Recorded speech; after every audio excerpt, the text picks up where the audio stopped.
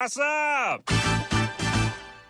Oh, hey, Cleveland. Hi. Wait, don't you have a show to do? Oh, that's right. All right, I knew this was coming. Everybody, give me your best shot. Oh my God, where do I even begin?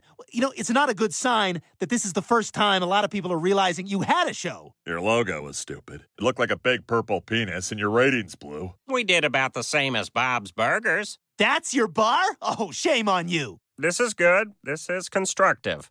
The talking bear was so bad, Seth MacFarlane quit voicing him after season two. It's hard to make a talking bear funny. Uh, it, it worked out okay in movie form. What was supposed to be the show's audience? Who did you make it for? Like some black guy who's never met another black guy?